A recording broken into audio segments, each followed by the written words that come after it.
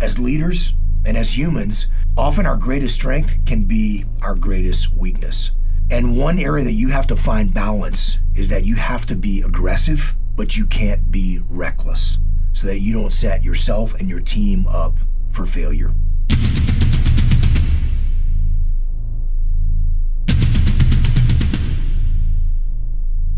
Last episode, we talked about how George Armstrong Custer led about 650 cavalrymen under the 7th Cavalry out onto the Great Plains of Montana in search of a band of Lakota under the command of Sitting Bull. This was part of a greater campaign called the Great Sioux War of 1876 or the Black Hills War. And this was a war between the U.S. military, namely the 7th Cavalry, and the Lakota Sioux and their Northern Cheyenne allies. These were Native American tribes that were fighting for their traditional way of life and their homeland, who did not want to cede their territory to the U.S. government and be forced onto reservations. Sitting Bull was a great Lakota chief and a medicine man, and he led a band of several hundred Lakotas. They refused to sign the treaty, be forced onto reservations, and surrender their traditional way of life. And Sitting Bull had put out the call to other bands of Lakota and Northern Cheyenne and Arapahoes to come and join him. Sitting Bull had assembled a powerful group that were willing to resist the U.S. military campaign to force them onto reservations. Meanwhile, the U.S. military sent out multiple expeditions to try and locate Sitting Bull and his band of Native Americans. As we talked about in the previous episode, Colonel Custer and his men located Sitting Bull and the Native American village. And what he chose to do in his haste to capture the village was to split his forces into multiple groups. As his forces split into multiple groups, they disappeared beyond the far hilltops and couldn't see each other, and so they were unable to actually support each other. Anytime that you split forces and those forces can't see each other, they don't know what each other are doing, they're unable to support each other, that is setting your team up for failure. One of Custer's greatest leadership qualities, his greatest strength was that he was default aggressive. He was proactive, he led from the front, he wasn't afraid to defy orders and lead charges that turned the outcome of battles. And he did that very thing at the Battle of Gettysburg as a Union cavalry officer in the Civil War. They defeated the Confederate cavalry charge and ensured the Union victory. At the age of 23, Custer was promoted to the rank of brigadier general, a very senior leadership position, normally reserved for someone who was much older and much more experienced.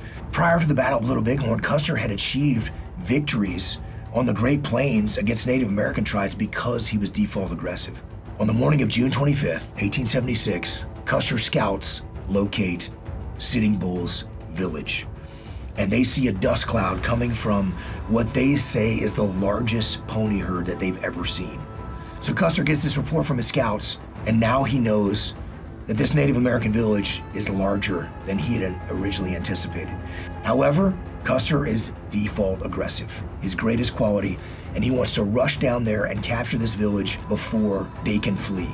Custer used the same tactic and was successful eight years prior to this, in 1868, in the Kansas campaign at what was known as the Battle of the Washita, or the Washita Massacre.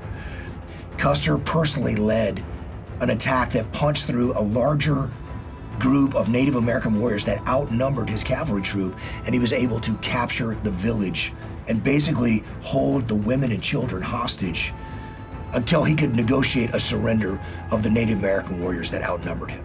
Custer's goal is to maneuver as aggressively as he possibly can, as fast as he can, surround the village, capture Sitting Bull and his Lakota and Cheyenne allies. But while being default aggressive is Custer's greatest strength on the battlefield, it's also his greatest weakness.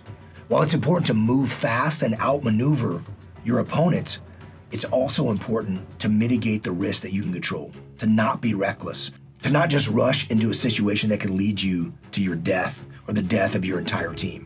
Having been successful with this tactic previously, Custer assumed that he would be successful again. This is something military historians call the disease of victory or victor disease. And when you have successes on the battlefield or in the business world or anywhere in life, that can lead to complacency as you start to overestimate your own tactical abilities and underestimate those of your opponent. This is something that was a major contributor to the battle here. When he split up his forces, when he maneuvered aggressively, he didn't properly take a step back and think about what were the risks to his team. How could he mitigate the risks that he could control? And that forced him to split his forces and it forced him to maneuver so fast they got ahead of their supply train and they didn't have the proper ammunition that they needed. It also prevented him from thinking about what the worst case scenario might be. And so, what he thought was a village of 800 or so Lakota following Sitting Bull was actually a village of some five to 7,000 Lakota, Cheyenne, and Arapahoes who had banded together. And while Custer had 650 troops under his command, the Native American tribes that he was facing had 1,500 to 2,000 warriors. He was vastly outnumbered.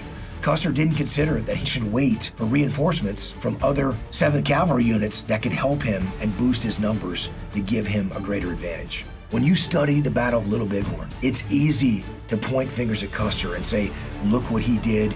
He was he was too aggressive. He was reckless. He didn't mitigate the risk to his team. He made bad decisions, and that resulted in 260 of his troopers being wiped out at the Battle of Little Bighorn." But as a combat leader myself, I was forced to make split-second decisions based on incomplete information, just as every leader is in any situation. Whether you're in business, whether you're a first responder, whether you're trying to make decisions for your family, you are not going to have complete information. You're going to have to make decisions based on the information that you have. So, this is a powerful lesson that we can extract from the Battle of Little Bighorn. You must be default aggressive. You've got to be able to maneuver. You've got to be able to move fast. You've got to be able to outmaneuver your opponent, your competitor in the business world, and make decisions based on the complete information that you have. But you can't be reckless. You have to take a step back and think about what are the risks to my team? How can I mitigate the risks that I can control? In order to do that properly, you have to stay detached. You can't get emotionally attached to plans. You have to let your team do the planning as much as possible. You have to take a step back so you can properly evaluate what are the risks to my team. What plans could we put in place to mitigate the risks that we can control? You can't mitigate every risk. Every decision you make is going to have some element of risk.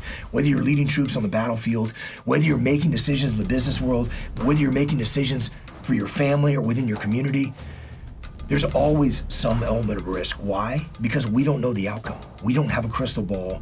We don't know the future. But you have to make the best decisions you can based on the information that you have. One way to do that is to take small steps in the direction that seems right. We call this iterative decision making. What's the smallest step that I can take in the direction that seems best? Then I can reevaluate that decision and make adjustments to my plan as necessary. And that is one way that we can actually be decisive and be aggressive and make decisions that move the team forward in a positive direction, but also mitigate the risks that we can control.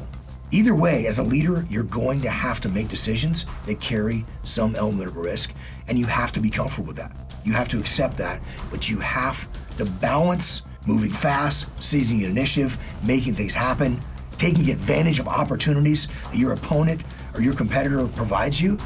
And you have to balance that by mitigating the risks that you can control, staying detached, and, and thinking what is the smallest decision that I can make in the direction that seems right based on the information that I have at the time. You have to balance between being default aggressive but not being reckless.